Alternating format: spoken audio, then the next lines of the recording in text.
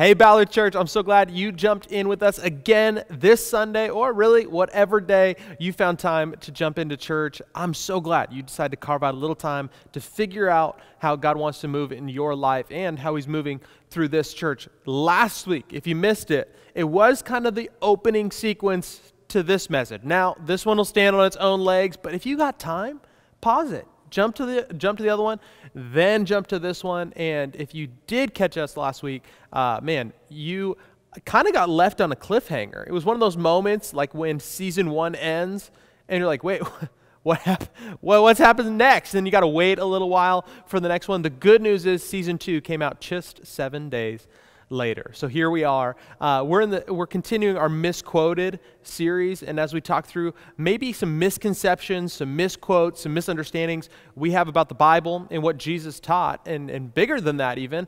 How God interacts in our lives. Because we know this to be true. Our view of God, our understanding of God, our knowledge of God really dictates how we expect Him to interact with us in our lives. It, manages our expectations. And if we're not careful, it really does mismanage our expectations as well. Last week, we started the conversation, such an uplifting conversation, around the topic of depression. Depression. We went through some staggering stats to see just how big the, the swath, or really the scope of depression has gotten in our country and in our community. It is impacting people everywhere. And if you're really honest, after a difficult year like 2020, you've probably felt glimpses and moments of it as well. For some of you, maybe it was something that categorized your 2020. If you're really, really honest, you would know you struggled with the depression, with uh, difficult thoughts, with uh, mood variations, with maybe even some,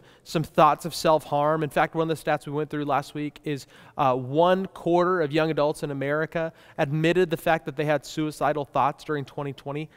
25% of young adults. It's, it's becoming an epidemic and it's unbelievable. And the good news is that the Bible talks about it. Now, the bad news is because mental health issues are shrouded in so much stigma and misunderstanding, that not only in our day to day lives and in our culture is it misunderstood, but really in a faith perspective as well, it's misunderstood. And, and, unfortunately, I hear so many things like, you know, if you're feeling depressed, just start praying more and it'll all go away. Or, and how could you feel depressed if you knew how much God loved you? And, and those might be helpful statements in the moment, but sometimes they can be really dismissive of the things that God is doing and working through depression. Last week, we talked about some of the things, really using the story of Elijah. Um, we got halfway through the story. We're going to finish the story today, but we talked about some of the things that get us into these almost caves of depression, which is where uh, Elijah finds himself is in a, in a physical cave, but man, doesn't it feel like when you when enter a season of depression, no matter how long it is, that it can feel like a cave? It's dark, it's disorienting. You know there's a way out, but you don't really know how to get there. There's bats and creepy crawlies. Even if you try and feel around, you just you feel lost in it. It feels hopeless and it feels helpless. The good news that we have today, and this is really what I want to talk about for the remainder of the time that we have tracing through Elijah's story, is that uh, we have options. We have options. Now, I made the same preface last week that there are there are literal biological issues that come into play when it comes to dealing with depression. I am not going to minimize those or dismiss those. I am a big fan of seeking a doctor's help and advice, of, of medication where it's needed. I'm definitely a fan of going to sit with somebody in counseling or therapy to help work through and get some guidance uh, when you're facing depression. So I don't want to minimize that or work past that, but I also don't believe that it's the entire story. Nowhere in our life do we allow uh, just the biology to be the entire teller of the story, that, that there's so much more at play. And what depression would want to trick you into thinking is that you're hopeless and helpless that you no longer have any options. It has been taken out of your control and you are just along for the ride. That you can't do anything about it, you can't change it. This is who you are and it is it is now your identity. Which I don't think the Bible teaches and honestly research wouldn't even show us is true. Even from a secular perspective outside of the Bible, research would tell us that the ball is still in your court and we have so many different options at play. So, each one of the things that we're going to work through today are steps we can take to start getting out of the cave of depression. So maybe you need to take some notes today. Maybe you need to send this message to somebody. Or maybe you just need to get a pen and paper ready to go. Heck, maybe you're watching a computer, you can just type it down too. Um, but you can maybe track along with the story of Elijah as we continue on last week. If you remember, last week, uh, Elijah had just come off the heels of multiple victories in God's name. I mean, he was, he was just crushing everything. He was successful. He was doing a fantastic job. He was teaching about God. God was showing up in miraculous ways on his behalf. It was just like awesome. And he got one message the equivalent today of one text for you, maybe it was one comment or post on Instagram or Facebook that somebody just fired back and you just it let it get to him. And, and Elijah, after all of these victories and God showing up in huge ways, finds himself in a crushing depression over one comment. And here's how he begins to step himself out, and rather what God chooses to do in the midst of it. Ready? We're going to be in 1 Kings. We're going to continue in our story in 1 Kings chapter 19. Here we go. This is going to be good. Then he, this is Elijah, lay down under the bush and fell asleep. Man, doesn't that feel good? The nap sounds good right now. We'll take it. Uh, all at once, an angel touched him and said, Get up and eat. He looked around, and there by his head was some bread baked over hot coals and a jar of water. He ate and drank, and he laid down again. I mean, this is amazing. I mean, talk about my dream day. You're outside, it's a beautiful day in Seattle, it's 72 degrees, you fall asleep underneath a tree somewhere, it's just unbelievably nice. Somebody wakes you up with food wafting in your face and some nice cool water. You drink, you eat, and then you fall right back asleep. Two naps in a day. This is incredible. Here's how it continues. The angel of the Lord came back a second time, touched him, said, Get up and eat, for the journey is too much for you. So he got up and he ate and he drank, strengthened by that food he traveled 40 days and 40 nights until he reached Horeb, the mountain of God. This is Mount Carmel. Maybe you've heard of this uh, before, but before he even took his journey, this is amazing. He ate, he drank, and he slept. Oh man, the first thing that I think we can do to step ourselves into a place of healing, step ourselves out of the cave of depression, is this: is you need to uh, you need to step into a needed recovery. You need to step into a needed recovery. Get this. He was fueled, he was strengthened by the fact that he ate, drank, and took a nap. How amazing is this? Church, your homework to draw closer to God today is to take a nap. You have biblical permission to go to sleep in the middle of the afternoon. Don't even set an alarm. Don't even worry about it. Have somebody else watch your kids. I don't even know. You figure it out. But you have the opportunity and permission to go eat incredible food, this is God's permission to go to Canlis, get a great meal, and go home and take a nap. This is the Lord's will. And if you're here and you're vegan, you need to go to shelter. They got all vegan menu. You figure it out, get some delicious food, and go home and take a nap. This is the thing that God is calling us to do. And it, and it might seem strange, it might seem silly, but isn't it true when we disorder our pace of life, when we get frantic and, and crazy, we don't take time to get the foundational needed recovery? That really we're asking God for healing, we're asking God for help, but we're continued with the frantic pace of life. Last week we talked about this some as well, but before we can move into the things that God really has for us, before we move into the healing, as you see with Elijah, before God even shows up, before he calls him to do anything, before he challenges him, before he encourages him, before he does anything, he has him sleep and eat and meet the basic needs of his life. If you're really honest, you can take an inventory. I, I can. I don't know your life, but be honest with yourself. Are you really taking care of yourself in like just even the normal physiological way? Are you getting enough sleep? What, are, are you getting a full night? Are you taking your rest? Are you eating some food? Are you nourishing yourself in a way that's healthy? Are you, are you uh, moving forward with the basic things that God um, really has in line for you. And I think the easiest way to do this is to really negotiate our schedules, to figure out what our schedule has to say. Here's what we see in the Bible it teaches the same exact thing. Teach us to number our days. This is a psalm. This is asking God, teach me to number my days and recognize how few they are. Help us, don't say us, me. Help me to spend them as I should. Help me recognize what days are valuable. Help me recognize that maybe the most fruitful thing I can do for my life is to organize it, is to make margin for a nap. Because you know the season where you feel healthiest in your life is the season when you have margin And I realize that is a challenging word nowadays, and you're thinking, how idealistic are you? You don't have the life that I have. You don't have the schedule. You don't have the demands. You're right. I, I don't have the same life as you. But I promise you, you can find margin in it. And if you can't, maybe it's a time to reprioritize. Because you can show up as a weakened version of yourself, susceptible to some of the hardest things in our life, or you can make the tough choices to find some margin. That's right. I'm telling you to go to your boss and say, hey, my pastor told me that I can't respond to your email at midnight. I can't do it. I can't reply anymore. When you email me at 2 a.m. and you expect me to be up and jump and jump through that hoop and make your phone call, I'm sorry, my pastor told me to leave my phone in the kitchen. And so I couldn't, I couldn't be ready at your beck and call at midnight. And if that's frustrating to you, figure out some boundaries. You can hand him a book by Dr. Henry Cloud called Boundaries. You might get yourself fired. But you know what? Hey, it might be for the best anyway, because we know, we know this, come on, we know this to be true, that sometimes we need to find the foundational piece before God even moves in a significant way, the foundational piece to be able to restore from there. That's your homework. That's your homework. That's a tangible first step that you can take. Let's continue in our story with Elijah and see how this goes. This is so good.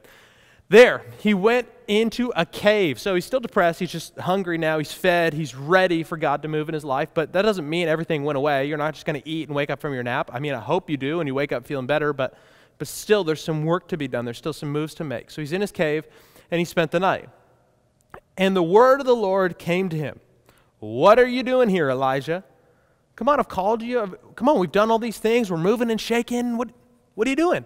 It's like when, you, it's like when you're on vacation and you finally take your kids to Disneyland and you're in the hotel and it's the morning of, you're going to wake up from Disneyland and your kids come and wake you up and they said, There's work to be done. What are you doing here? What are you doing in bed? Why are we at, why are we at Disneyland? Let's do this. Come on, there's something significant happening. So God presses Elijah, says, What are you doing here? And this is Elijah's response. This is so good. He replied, I have been very zealous for the Lord God Almighty. The Israelites have rejected your covenant. They've torn down your altars. They've put your prophets to death with the sword. It, if that's not bad enough, he's feeling so bad about himself. He's rehearsed this line. This is the thing that rolls through his head of why he should feel bad and why he deserves to feel bad. And, and all these things might be true, but it's the things that just continue to play. And I'm the only one left. And now they're trying to kill me too. Like everything's going wrong, and the, the culture's turning against you, God, and nobody's listening anymore. And I was the only one who was zealous, and they've put everyone else to death. And and now they're trying to kill me too. Now there's nothing left that, that can be hopeful. There's nothing else that can be helpful.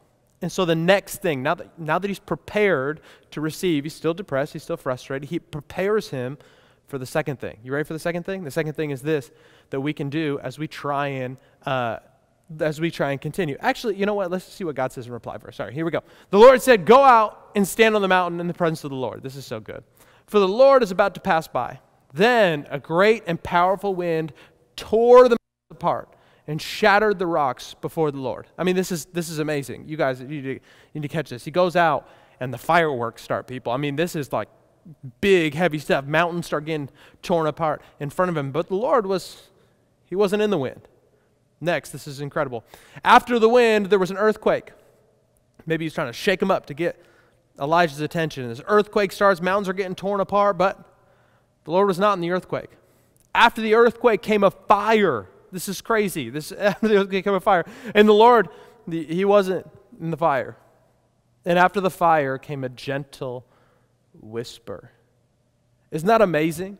That after all these big bangs and fireworks, that, that finally God shows up in a whisper. And I think what happens when we, when we prepare ourselves well is now, the second thing that I think we see that Elijah did is he stepped into an encounter with God. He stepped into a God encounter. And listen, I'm like you. I wanted to be the earth shaking, the wind moving through, the fire everywhere. Earth, wind, and fire, anybody? Now you know where they got that from, right? And some of you don't know what I'm talking about, but that's okay. It's, it's a different story. You can ask your parents. But you step into what God is thinking and you, you expect it to be these big, grandeur things, but instead, God spoke to Elijah in a whisper. And sometimes in the midst of our darkest moments, we want God to show up in a significant way. And that's not a bad thing. You're not selfish for that. You're not greedy or insensitive, but I just want to set your expectations right that He may not. It may not look like he shows up in your room in front of you and picks you up and, and carries you out the room and feeds you himself. It, it may not look like that, but, but we might be prepared for something else because this is the truth and this is what happens. We look for the dynamic, but God is in the intimate. We look for the fireworks. We look for the earthquake, the mountains shaking. We look for these big signs. We ask God, like, okay, God, if you do this, if you pull off this around me, then I'll start working through my depression. God, if, if you do this, if you move in their heart, if they send me an apology, if they figure this out, then finally I'm going to begin to take steps of my own. But God invites us to the intimate, He invites us to a whisper. He invites us to tune in to what He would want to speak. And that's why I think the first step is so crucial because it sets the platform, it sets the stage for you to be able to listen to God, well rested and fed that, that the other superficial needs are met. So the fact that you can actually zone in to what God would want to speak to you, the fact that God does eagerly look to speak to you, but, but sometimes we miss it. Maybe this is a challenge for you. Maybe this is something that's less of a thing that you see on a bumper sticker, but more something you can take to heart. It says this in the Psalms Be still and know that I am God. Be still. Stop moving.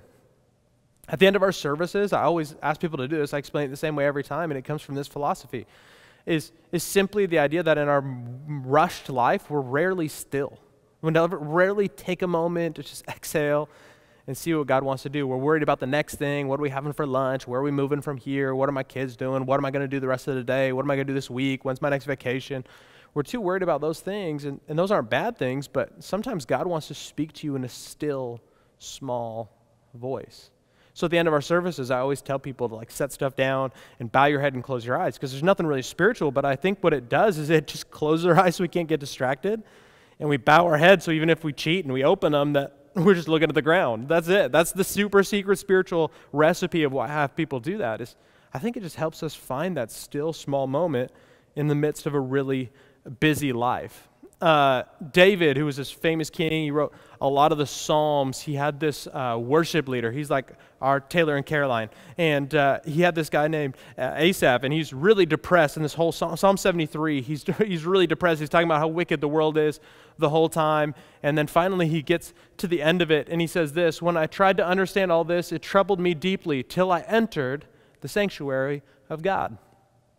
When I tried to make sense of the world, when I tried to understand, when I tried to solve the world's problems, when I turned on the news and everything seemed like it was on fire and everything's going to mess and some person's mad at somebody else and I wish I could do something about it and somehow I get mad or bitter and I can't believe they think that and all these things came up inside of me and I couldn't understand it. I was deeply troubled until I entered the sanctuary of God.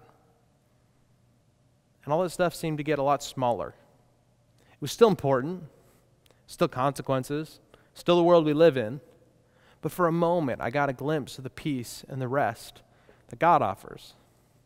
And when I do that, when I slow down and I seek an encounter with Him, I'm telling you, I am a big fan of so many things, but there is nothing that can replace an encounter with Jesus. There's nothing that can replace an interaction with God, a moment in His Word, a moment where He speaks revelation, a moment of His comfort is better than anything that could show up in this world. I'm, I believe that to be true, and I believe that's our greatest resource.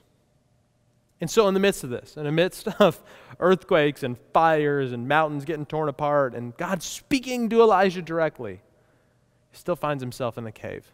And this is what we see he does next. So, so, so next, he does this. When Elijah heard it, he pulled his cloak over his face and went out and stood at the mouth of the cave. It's interesting that he, that he took the cloak and put it over his face because his face, for even then and now, is the only thing we can use to identify people, right? It's their face. Somebody might have the same structure as you physically, but their face is an identifier that's so unique and so specific to you. And so he hid his face in order to hide his identity, in order to hide who he was. And he stood at the mouth of the cave. Then a voice said to him, This sound familiar? What are you doing here, Elijah? Come on, this is God again, the same rehearsed thing. Come on, I spoke to you. Are you still here? Are you ready to take a next step? Are you ready to move forward? this is Elijah's response. This is so good. This is going to sound a little familiar. He replied, I have been very zealous for the Lord God Almighty. It's the same thing. The same thing he rehearsed before. The Israelites have rejected your covenant. They've torn down your altars. They've put your prophets to death with the sword. And I am the only one left. And now there's, they're trying to kill me too. they're trying to kill me too. And, and he covers up his face, I believe, to cover up his true identity, to try and cover up the call of God on his life. Because he knows there's something inside of him that knows where he should be. there's something inside of him that knows that God showed up before. He showed up for others, and he, he even showed up in his own life. And in those moments, he feels so ashamed and he feels so lost. And God asks again, What are you doing? And he has the same rehearsed line because he's like, You don't understand. Isn't that funny? How oftentimes, I know I'm guilty of it, maybe you're not, but you say to God, Well, God, you just don't understand. You don't understand anymore.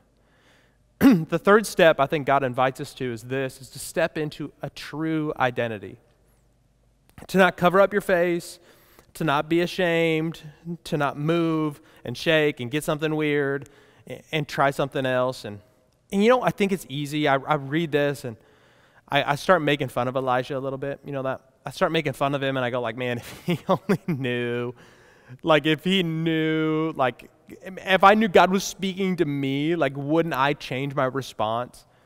might if God showed up in the significant way and audibly spoke to, I wouldn't cover up my face and be like, God, you're so good. And I like to play out the story like I would respond differently. But if we're really honest, I think I can respond in the same way. Can I be really transparent with you? Uh, through this last year, there's, I think there's been ups and downs for me the same way as there have been for anybody else. And last summer, uh, was a little bit challenging for me. Was a little bit challenging because the, the pandemic had started to take place. We, we, my wife and I came to Ballard Church, um, man, over two years now. And we had this great season where, you know, God felt like He was really moving. It was incredible. People are getting saved. People are getting baptized. We're seeing God move. People are getting in a community, finding healing. It's just like everything you'd want it to be. And it's hard work, but it's a ton of fun. And we got to do it with the people that we love. And it's incredible. And the pandemic kind of shuts us down and everything's difficult. We transition to online. It feels a little bit different because I'm speaking to a camera and I'm like, ah, this is kind of clunky. But even in the midst of it, God shows up in significant ways, and we hear incredible ways that God is moving through our online campus. Like people like you are sharing this with people all over the world, and it's just like cool to see what God is doing, the decisions that are being made over, and He's just surprising the heck out of us. But last summer, I just remember being disheartened. I was like, hey, this is only going to last a little bit, but now it feels like this is going to last forever. And we were trying so hard. And when are we going to come back? And these doubts started to come through my mind. And I'm thinking to myself, like, what am I even doing? Like, God, do you have somebody else to pastor this church? Like, why is this, why is this going on? I started throwing myself a little pity party for one, had my little own little tiny sad confetti cannons.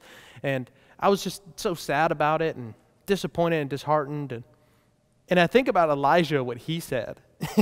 and if I'm honest, uh, I think I, I think I would have said it a little bit different. And today is the very first day we're gonna we're gonna actually release the Lance translation of the Bible. This is my own translation of that verse. If I'm just really honest with myself, it says this: I've been very zealous for the Lord God Almighty. I've been preaching good messages to show people you. The government and Dr. Fauci won't let me fill up our auditorium, and culture's going to hell, and I'm the only one left, and Instagram's trying to kill me too. Like everything's going wrong. Why everything just feels like too much, and I get one bad comment on something, and I get one bad thing, and I'm like, ah, I just started spiraling, and all of a sudden, when I put it in this context, I know I'm just trying to be silly for a moment, but when I put it in that context, I start to think to myself, maybe Elijah is human after all. Maybe this hero of faith is human just like you and me, and maybe, just maybe, if God can meet a hero of faith with patience and grace, Maybe he wants to meet me in the same way. But maybe he wants to do the same thing he wants to do with Elijah and remind him of his true identity, remind him of his calling. Eleanor Roosevelt has this absolutely incredible quote I thought was so powerful. No one can make you feel inferior without your consent.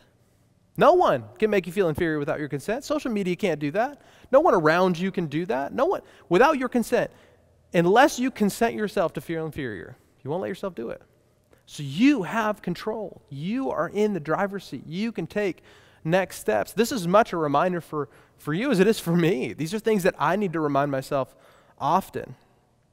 Uh, and God, this is interesting. God doesn't when he replies to Elijah in this next verse, he, he doesn't even uh, really affirm his complaints. He doesn't even validate it. He just kind of moves forward and starts giving him homework. This, this is amazing. The Lord said to him, He didn't say, like, oh, quit throwing a pity party, brush yourself off. He didn't say, You're right, this is hard for you, this is difficult. He just said, Go back the way you came and go to the desert of Damascus. Come on out of the cave. It's time to step out. And this, this, is, this may not feel like anything to you. This may feel very passive. This may feel uh, quick. It may be something you read over quickly, but this is why I love getting to do what I get to do. Remember, you'll have to look back to last week, but on the way in, he passed through Beersheba.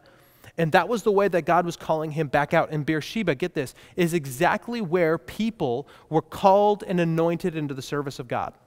So Elijah, years and years and years before, would have passed through Beersheba, and that's where he would have made a commitment to say, God, you are going to be the number one in my life. I'm going to follow you with everything. My life is yours. You have it all.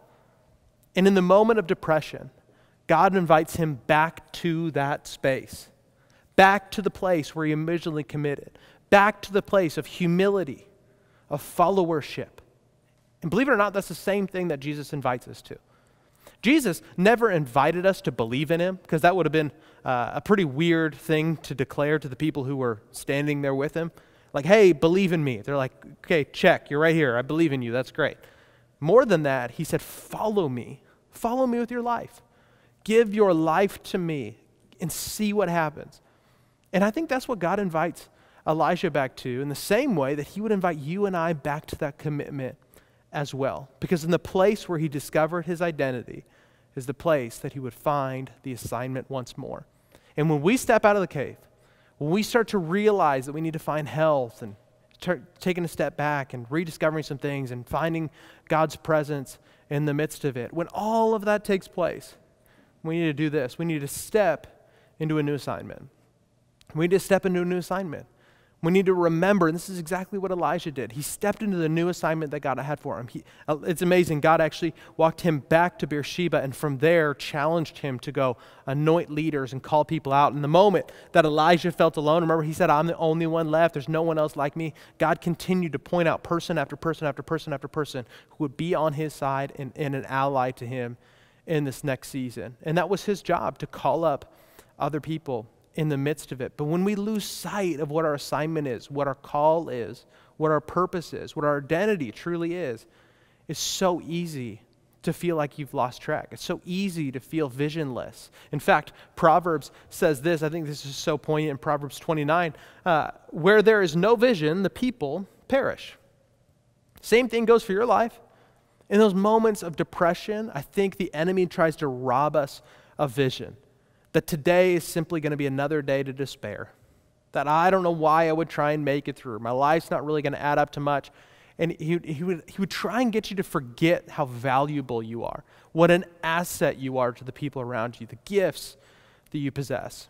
There's a, an incredible psychologist, his name was Viktor Frankl. And coming out of uh, World War II, he worked with tons of people who were, who were in Holocaust camps, uh, tons of Jewish people, and it was was amazing to see his work. And, and he created this thing called logotherapy as a result of it. And it, and it was pillared on a, a, bunch of different things, but one of them is without purpose, people wouldn't find meaning. And in fact, the people that he said would make it to the other side psychologically and physically, um, that would, would face the least impact from the horrific things that they experienced, is the people who reestablished purpose and meaning.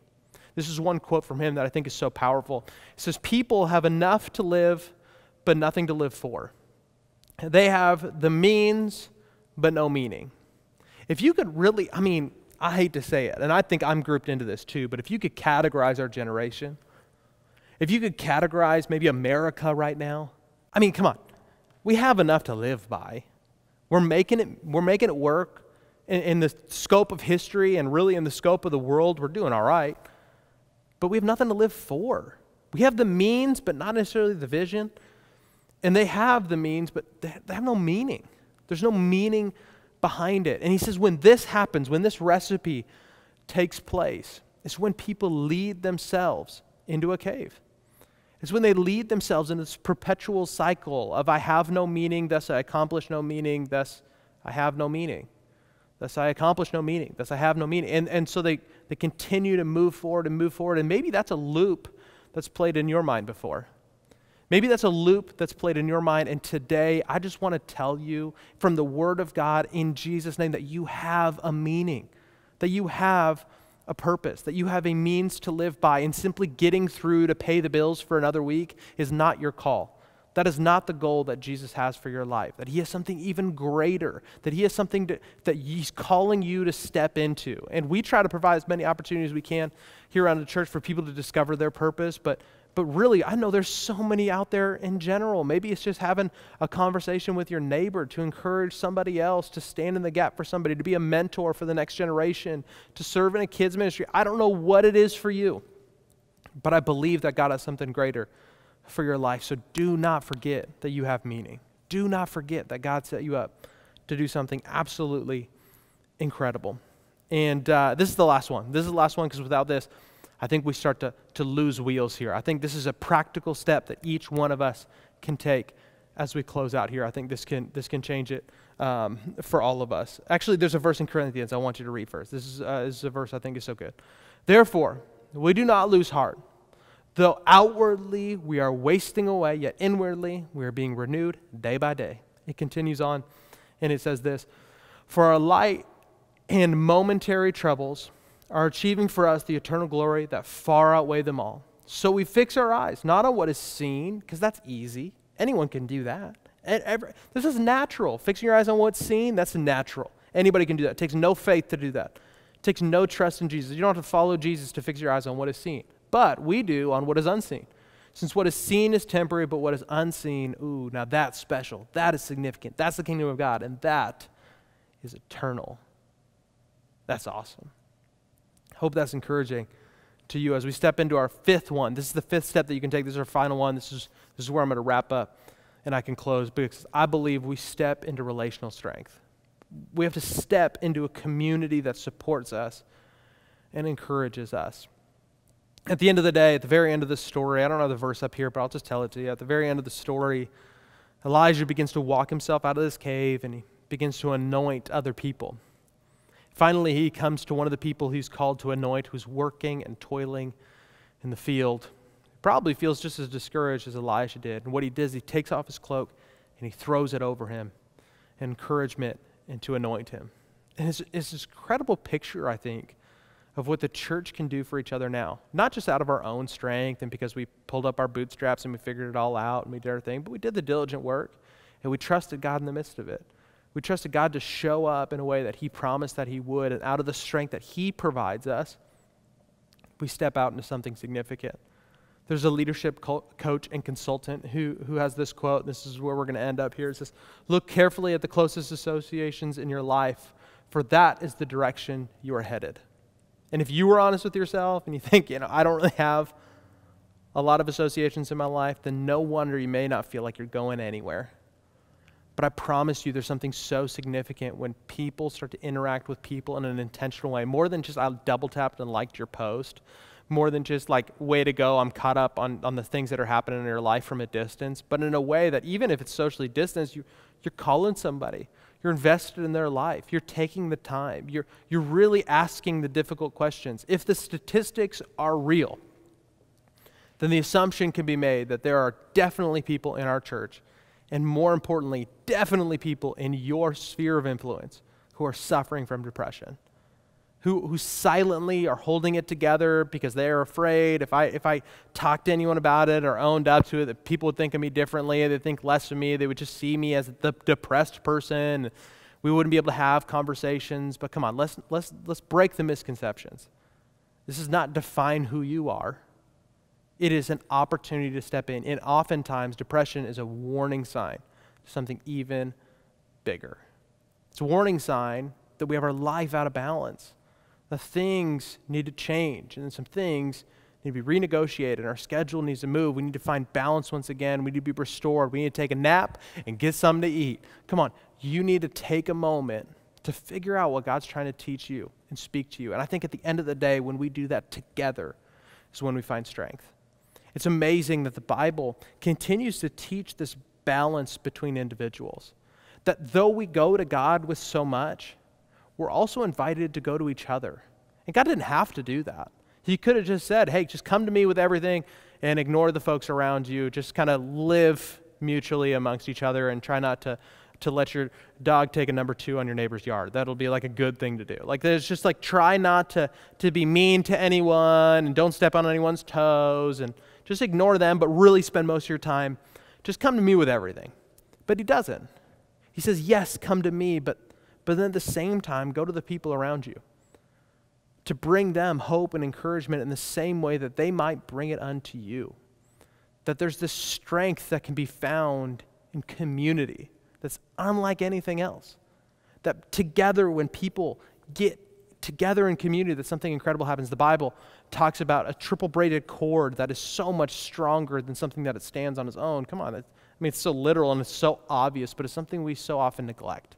So, as we, as we kind of end this conversation, there's so much more to be said, and there's so many things that could be included in this. I hope that gives you just even a snapshot of how to begin to walk yourself out of a cave in a way that Elijah did. And one of the things, again, I just want to say one more time, is, is the opportunity to draw near to God. Because when I do that, I think it unlocks so many other things in our life. So I threatened you that it was coming, and I told you it was going to happen. So here we go. Why don't you do me a favor? Set everything down around you, bow your head, and close your eyes. Remember, nothing spiritual about it. I just think it gives us an opportunity to slow down and hear the still, small voice of God. That maybe today, God's not going to show up in some dramatic way, but in a way that's very personal and very intimate. It's the end of the day. The outside can change it all we want, but what God can do in our hearts can change everything. So let's pray together. God, thank you so much that you show up when we're hurting that you're not disgusted or distant, that you don't think of us as less than or small in our faith, that we don't believe enough, but God, instead, you invite us to worship you. When you don't feel near Jesus, we just we press in and we draw near to you. It says in your word that you draw near to worshipers. So even when we don't feel like you're close, we begin to worship and we're going to find you regardless because you're going to find us. So we thank you, Jesus, that you draw and you draw near and you show up. And for all of us today that have, that have been struggling with depression, maybe moments where fleeting thoughts come to mind, or unfortunately, maybe thoughts that are more enduring than we'd like them to be, would you begin to silence them? Would you step in in a way that only you can and reaffirm our true identity? Would you remind us of who we really are and give us a brand new assignment, a sense of meaning and purpose that will guide and direct our lives? The biggest purpose in our life is to serve your kingdom, and we're thankful for it that you've given us each a unique role to play. We're grateful for it. We step into it in Jesus' name. Amen and amen. Well, I'm going to make the same invitation that I did last week and invite you to this. If you are in a place right now where you feel like you're struggling with depression and mindset, I would invite you to just send us a confidential email. We're not going to share, we're not going to put it up here on the screen or do anything like that. But you can send an email to info at ballardchurch.com. If you really want to, you can send it to me personally at lance at ballardchurch.com. Shoot me an email. I'd love to help the best way that I can or even give you some resources that I think could help you in a great way. So God bless you, and we'll see you next weekend.